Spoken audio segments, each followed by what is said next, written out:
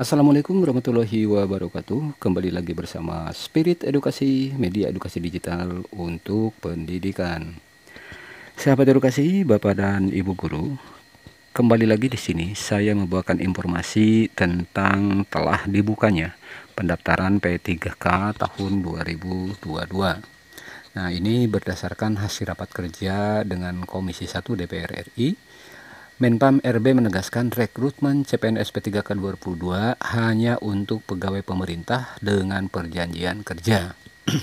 Artinya di sini e, ditetapkan kembali bahwa P3K untuk tahun 2022 akan dibuka dengan prioritas tenaga guru dan kesehatan. Namun sebelumnya tentu bagi Bapak dan Ibu yang pernah membuka info GTK-nya, nah di sini ada perubahan status. Artinya ketika Bapak dan Ibu cek uh, di info GTK di situ pertama ada tulisan lolos P3K. Nah, sekarang ini sudah berubah menjadi tercatat lulus passing grade P3K. Itu bagi yang uh, lolos P3K. Nah, oleh karena itu, sahabat edukasi, silahkan pertama kita lakukan adalah uh, cek kelulusan P3K yang 2021. Apakah lulus mendapatkan penempatan atau tidak? Nah, tentunya bagaimana caranya? Tinggal e, masuk ke https info.gtk kemdikbud.go.id. Nah, coba kita cek di info GTK kita ya. Info GTK, ini tinggal masuk ke https info GTK. Kemudian kita langsung ke info GTK kita Nah, seperti biasa kita langsung login. Nah, jika terjadi seperti ini, ini kita bisa masuk melalui uh, eh, SSO ya, melalui ini. Misalkan seperti ini. Nah, kita langsung login menggunakan SSO, klik di sini. Kemudian kita coba masuk dengan email dan akun yang kita punya. Lalu tinggal pilih kita pendidik dan tenaga pendidikan. Nah, ini kita tunggu. Nah di sini sudah muncul kita cek biodata. Cek biodata lalu terus kita ke bawah buka info GTK kita. Klik buka. Nah kan ke sini kita login. Oke. Nah ini sudah masuk ke badan ibu. Nah untuk mengecek apakah kita ini eh, termasuk lolos atau tidak nah di sini kita scroll ke bawah. Nah di sini tampilan awal seperti ini. Nah, di sini untuk kondisi portal itu sudah dikunci dan ada tulisan lolos P3K ya. Tetapi sekarang tulisan lolos P3 telah berubah dan diganti dengan jadi tercatat lulus passing grade P3K. Nah, bagaimana yang tidak ada tulisan ini? Berarti tidak tidak tercatat lulus di passing grade P3K 2021. Baik, sahabat edukasi, Bapak dan Ibu guru, kita cek di sini di guru p3k kemduk.id. Baik yang eh, dinyatakan lolos passing grade maupun yang tidak, kita perlu perhatikan di sini. Semula Bapak dan Ibu, ini akan dibuka tanggal 5 Oktober 2002, tapi sampai hari ini masih ada tulisan mohon menunggu. Artinya di sini masih ada progres ya. Nah, kalau kita perhatikan ini baru baru sampai di sini progresnya. Nah, tentunya ini sampai terus ke sini ya, harus sampai selesai. Artinya ketika ini sudah progresnya sudah sampai di sini, maka uh, dibuka pendaftaran pada SSACN CASN dimulai. Namun demikian perlu diketahui, nah kita lihat mekanisme seleksi guru ASN P3K tahun 2022. Pertama, tadi bagi yang lulus passing grade, lulus passing grade kita lihat alur seleksinya. Nah, seperti ini. Jadi di P1 yang lulus passing grade di sini tinggal langsung login ke SSCASN. Nah, ini ketika nanti sudah dibuka tinggal langsung login dan langsung ada penempatan. Setelah ada penempatan begini, maka tinggal langsung proses pemberkasan. Setelah itu bertugas di sekolah di penempatan. Nah, itu bagi yang lolos passing grade yaitu P1. Kemudian di sini bagaimana seandainya belum ada penempatan. Nah, kita coba login uh, ke login ke SSCASN di sini.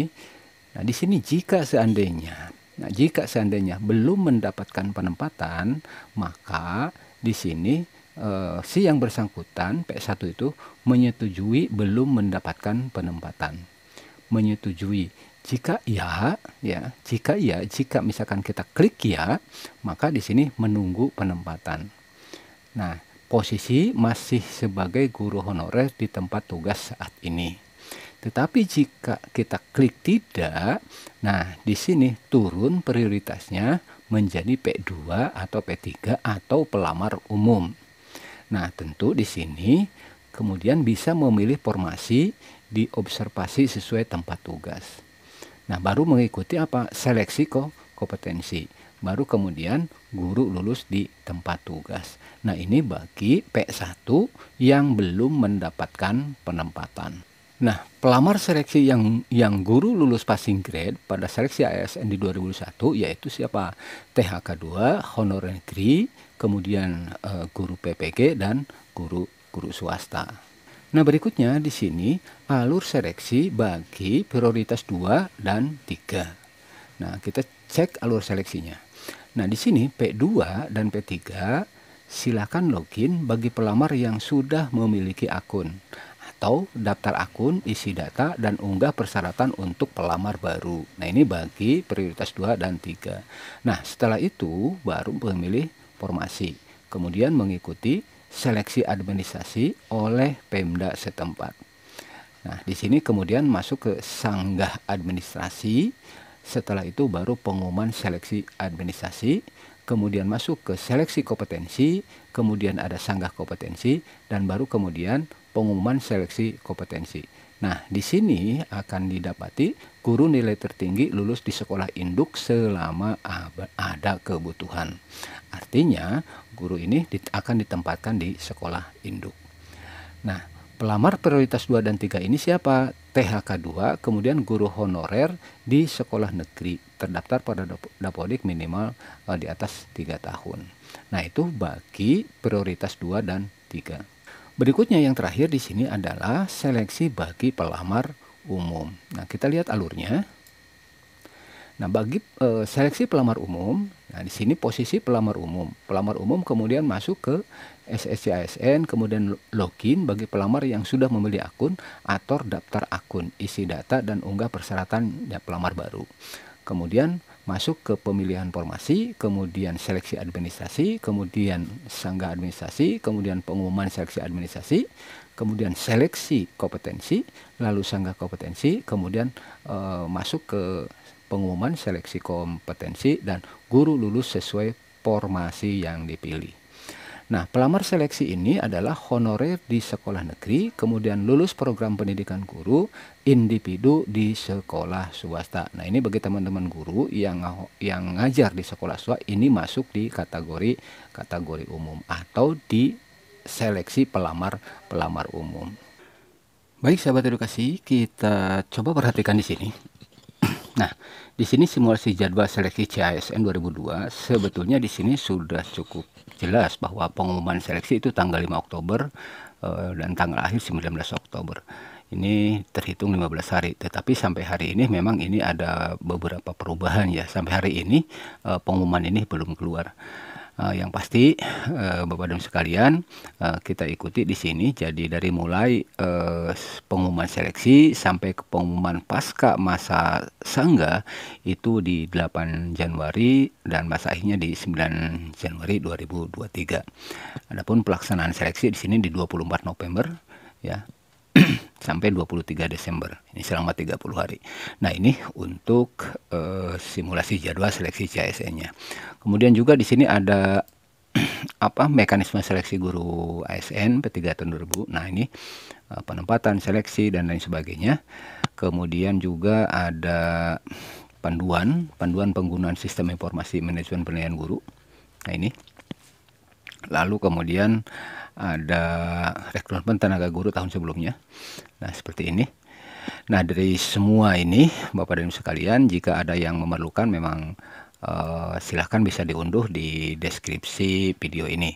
Ini saya simpan uh, linknya. Demikian Bapak dan Ibu sekalian penjelasan tentang informasi terupdate uh, seleksi uh, P3K atau guru P3K di tahun 2022. Terima kasih, semoga bermanfaat. Assalamualaikum warahmatullahi wabarakatuh.